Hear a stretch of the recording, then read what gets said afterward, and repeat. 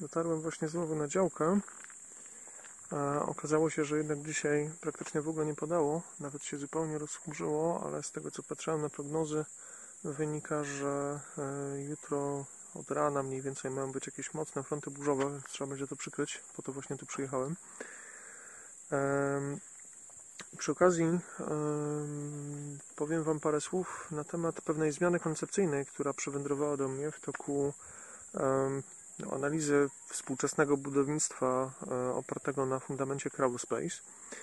E, Jak pamiętacie, wspominałem w jednym z filmów, że fundament Crawlspace e, no, de facto bazuje na przestrzeni wentylowanej, która znajduje się pod spodem domu, czyli ten fundament, który tu widzicie, do, do, dojdą do tego jeszcze, bo to jest w tej chwili te bloczki, które widzicie z przodu, to jest w tej chwili piąta warstwa, w związku z czym na tym będą jeszcze trzy warstwy i potem wieniec, czyli no pi razy drzwi mniej więcej do takiej wysokości. I dopiero na tym będzie zawieszony budynek. E, Plan pierwotnie zakładał, że w tym miejscu mniej więcej będzie wejście do e, crawl space. Na tej ścianie mniej więcej w tym miejscu będzie przejście z tej części do tej części, plus dodatkowo z tyłu ściany i tutaj z przodu miały być zrobione mm, okienka wentylacyjna.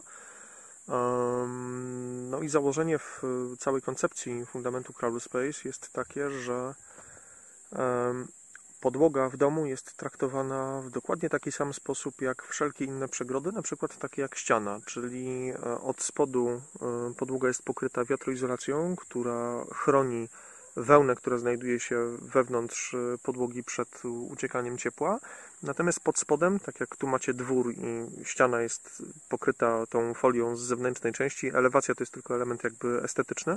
Natomiast jak macie z zewnętrznej części ścianę pokrytą folią wiatroizolacyjną, no to od naszej strony hula sobie powietrza jest minus 20, no to tutaj na przestrzeni jest minus 20 i tyle. Dokładnie tak samo z założenia ma się zachowywać przestrzeń pod crawl space'em. E, Okazuje się, że współcześnie jest jeszcze jedna metoda wykonania tego i bardzo poważnie się nad nią zastanawiam. E, To jest metoda, która próbuje troszkę zerwać e, z tym takim standardowym podejściem do crawl space'u, które właśnie mówi o tym, że przestrzeń musi być ta pod spodem wentylowana. Tam oczywiście rodzi to trochę różnego rodzaju problemów, przede wszystkim związanych z okresem zimowym, no bo jak lecą sobie, powiedzmy tam mamy studnię, to będzie sobie leciała rura z wodą, no to pod spodem w crawl space musi sobie w którymś momencie wyjść z ziemi, przeciąć jakby tę przestrzeń powietrzną, wentylowaną, która jest e, w środku i jakby wbić się w e, podłogę, czyli część tej rury będzie nie dość, że w bardzo płytkiej przestrzeni ziemnej, no a część będzie zupełnie jakby ponad ziemią. E, I to stanowi pewne wyzwanie dla izolacji e, tych wszystkich instalacji, przede wszystkim właśnie wodno-kanalizacyjnych, przed ewentualnym zamarzaniem. Mowa tu przede wszystkim o instalacji wodnej, bo kanaliza zazwyczaj jest trochę zlewana ciepłą wodą, więc ona zamarza w, troszeczkę mniej chętnie niż e, no, rura z, dop- z dopływem zimnej wody do domu. E, I e, dlaczego to się w ten sposób rozwiązuje? Mm, Ja w którymś filmie będę szerzej e, opowiadał Wam o kwestiach przepływów wilgociowych, natomiast teraz powiem tylko krótko, że generalnie gdyby ta przestrzeń, pustka powietrzna sobie w środku została i gdyby nie była wentylowana w należyty sposób, czyli nie byłoby dostatecznie dużo wchodzącego powietrza i dostatecznie dużo wyciąganego powietrza zupełnie na zewnątrz, to w tym momencie e, mogłoby dojść do wystąpienia dużej ilości skroplin wewnątrz e, samej przestrzeni e, crawl space, no i automatycznie, skoro skropliny, no to automatycznie mówimy o zawilgoceniu fundamentów, być może nawet zawilgoceniu całej konstrukcji drewnianej, która jest pod spodem, no a w konsekwencji gniciu tejże konstrukcji, no i rozwijaniu się różnego rodzaju pleśni, czego jakby no, w tym budownictwie się raczej nie chce. Mm, Stąd wymyślono e, te wloty wentylacyjne i wyloty, które e, no, zapewniają, że ta przestrzeń jest wentylowana i to powietrze, które sobie wchodzi i wychodzi, e, zabiera odpowiednio właściwe ilości tej wilgoci. Mm, Plus do tego wszystkiego dochodzi jeszcze jeden mały problem, z którym czasami trzeba sobie trochę powalczyć, polegający na tym, że jeżeli taki dom oparty na fundamencie crawl space buduje się na gruncie, który ujmijmy to najprostszym językiem, nie pachnie zbyt ładnie, no to w tym momencie zapach tego gruntu teoretycznie może sobie przenikać do przestrzeni domowej. E, W naszym przypadku nie byłoby zupełnie takiego problemu. Gdyby on wystąpił, to prawdopodobnie cały ten grunt byłby wyjęty i całość byłaby zasypana na przykład pospółką. W tym przypadku nie było takiej konieczności. Natomiast zwracam na to uwagę, bo to jest dosyć istotne w tej technologii. No i kolejna kwestia to jest kwestia zachowania ciepłoty samego domu, pomijając już kwestię tej rury, która musi być odpowiednio zaizolowana. A podłoga w takim crawl space jest wypełniona taką samą ilością wełny jak wszystkie inne przegrody, czyli ściany e, i dach, czyli w naszym przypadku jest to 25 e, cm wełny, z czego 20 cm będzie wewnątrz konstrukcji, a 5 dodatkowo w poprzek na dodatkowych dystansach. E, dlaczego w poprzek? Po to, żeby wyeliminować ewentualne mostki termiczne, ale o tym szerzej już będziemy sobie mówić jakby później. Mm, I w, podłogę, w podłodze jest dokładnie tak samo, czyli podłoga macie 20 cm wełny plus 5 w poprzek na dystansach.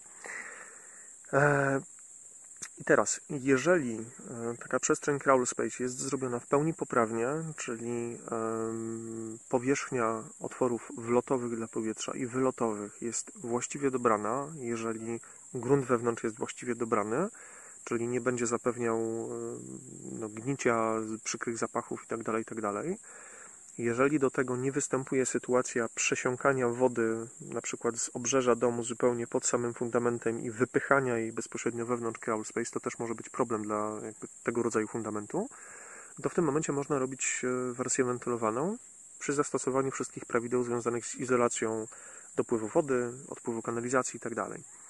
E, natomiast nie zmienia to faktu, że w tym momencie wewnątrz crawl space, podczas gdy na przykład macie minus 10, minus 20 na dworze, no to w tym momencie pod crawl space'em również jest minus 10, minus 20.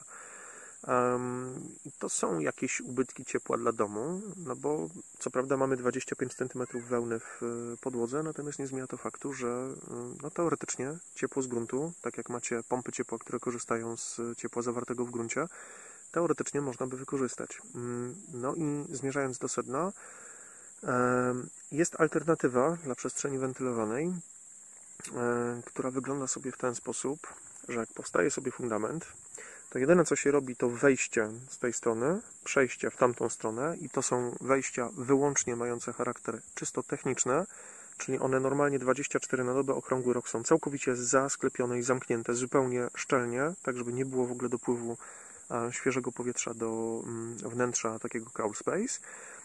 E, podłoga jest, no tak jak wcześniej, 25 cm wełny, pokryta oczywiście wiatroizolacją, żeby powietrze, które jest nagrzane wewnątrz wełny, sobie tam siedziało i się trzymało. Natomiast cała przestrzeń crawl space jest wypełniana idealnie płasko, poziomo, mm, takim grysem na wysokości powiedzmy 5-10 cm, zależnie od no, potrzeb i wymogów no, danego gruntu, który akurat macie wewnątrz. I następnie w momencie, kiedy to jest zrealizowane, to dookoła fundamentu przylepia się od wewnętrznej strony na betonikach taką taśmę klejącą. Oczywiście to nie jest zwykła taśma klejąca, tylko taki szczególny rodzaj, który no, praktycznie na wieczność wiąże się z strukturą tego betonu. E, tworząc taką opaskę i ta taśma jest y, przylepna z obu stron, czyli z jednej strony przylepia się z y, jednej strony przylepia się do samych betoników czy bloczków, a z drugiej strony po oderwaniu takiej wierzchniej warstwy zabezpieczającej również jest warstwa, do której z kolei przylepia się bardzo grubą folię, e, która stanowi e, odpowiednik paroizolacji, którą stosuje się w domach, tylko jest twardsza i znacznie, znacznie grubsza. I tą folię pokrywa się tą folią szczelnie całą powierzchnię crawl space'u, przylepia się ją do tej e, taśmy, która jest po obrysie i rezultat tego jest taki, że przestrzeń crawl space jest całkowicie odizolowana poprzez zamknięcie wejścia do crawl space, braku kratek wentylacyjnych. Po pierwsze, crawl space jest całkowicie odcięta od yy, wilgoci znajdującej się w powietrzu, które jest poza domem, na zewnątrz, a z drugiej strony jest całkowicie totalnie odcięta od wilgoci i jakichkolwiek zapachów, które znajdują się pod tą folią, czyli wewnątrz crawl space. I efekt tego jest o tyle interesujący, że jak macie w podłodze 25 cm wełny, to dodatkowo pod crawl space'em macie 60 cm jeszcze pustki powietrznej, która nie jest w żaden sposób uzupełniana zimnym powietrzem z zewnątrz, czyli de facto crawl space stanowi coś na wzór takiej uboższej siostry e, wełny mineralnej, czyli mamy przestrzeń, która stanowi no, nic innego jak po prostu izolator cieplny, który odcina budynek praktycznie całkowicie od e, e, temperatury gruntu od powietrza z zewnątrz i tak dalej, i tak. Taki dom powinien uzyskać jeszcze wyższe parametry w kontekście osłabiania przepływów ciepła, ubytków cieplnych, ubytków energii i tak dalej, i tak. Mm, Będę sobie jutro rozmawiał na ten temat z e, architektem, zobaczymy co on na to powie. To jest technologia, która coraz szerzej jest szeroko stosowana w Stanach Zjednoczonych. E, Co ciekawe, stosowana również dla domów, które już bardzo dawno temu sobie powstały e, i w nich przestrzenie crawl space są poddawane swego rodzaju renowacji. Często dochodzi do tego, że wybiera się część gruntu spod spodu, zasypuje to tym grysem i dopiero potem leci sobie ta folia.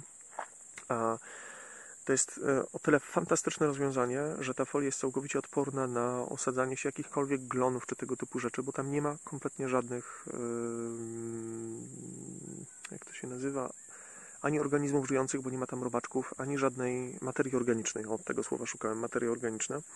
E, Nie ma na tej folii żadnej materii organicznej, w związku z czym nie ma tam co gnić, co pleśnieć, więc nawet gdyby zdarzyło się tak, że jakimś cudem dojdzie tam do jakichś skroplin czy czegoś w ten deseń, to po prostu powstanie sobie malutka kałuża gdzieś tam na tej folii, która niczemu nie będzie w żaden sposób e, szkodziła. Natomiast jeżeli taka przestrzeń crawl space jest bardzo dokładnie zaizolowana, to w zasadzie nie ma możliwości fizycznej, żeby do takich skroplin doszło. Dlaczego? Dlatego, że powietrze pod crawl space'em w, z upływem czasu robi się znacznie, znacznie bardziej suche niż powietrze na zewnątrz. I w momencie, kiedy temperatura sobie spada lub podnosi się, to wilgotność tego powietrza wewnątrz crawl space nigdy nie dojdzie do 100%, czyli nigdy, praktycznie nigdy nie dojdzie do sytuacji, w której te skropliny mm, sobie wystąpią. Więc rozwiązanie bardzo ciekawe. E, Koszty jeszcze dokładnie nie znam, ale z tego co patrzyłem na stronach internetowych w Stanach Zjednoczonych, to w granicach około 300-400 dolarów kosztuje taka folia pod taki domek rzędu 100-120 m2, więc no, przeliczając to na polskie złocisze, 400 dolarów razy te tam, nie wiem ile teraz dolar kosztuje, 3,50, 3,70 powiedzmy, no to jest jakieś tam, załóżmy półtora tysiąca, niech to będzie nawet dwa w porywach, powiedzmy, że w Polsce te e, materiały będą nawet droższe niż tam, no to nie zmienia to faktu, że jest to cena całkiem spoko, jeśli chodzi o no, zapewnienie sobie dodatkowej izolacji, całkowite odcięcie się od jakichkolwiek problemów związanych czy to z zamarzaniem wody, z zamarzaniem rur odpływowych od kanalizacji, problemu związanego ze skroplinami, pleśnieniem, konstrukcji itd. itd.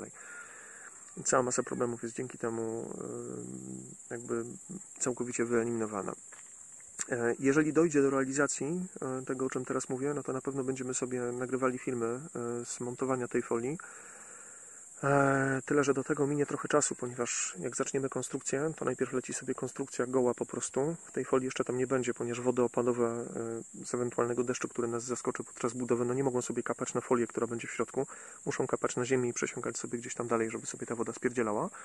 W związku z czym, jeśli ta folia będzie montowana, to dopiero w momencie, kiedy konstrukcja przynajmniej od zewnętrznej części e, zostanie całkowicie zamknięta przed ewentualnymi opadami deszczu i śniegu i dopiero wówczas e, ta folia może być e, sobie wewnątrz zamontowana. No. Natomiast jutro będę rozmawiał z architektem i konstruktorem jednocześnie. Jeśli on potwierdzi moje przypuszczenia, że to jest dobry pomysł, a wydaje mi się, że tak, no to dam Wam tylko znać, że mamy zielone światło i że będziemy tak robić. No a na samą realizację będziecie musieli sobie trochę poczekać. No, to tyle. Ja się biorę za przykrycie e, folią tych fundamentów i zmykam do domu. Trzymajcie się ciepło.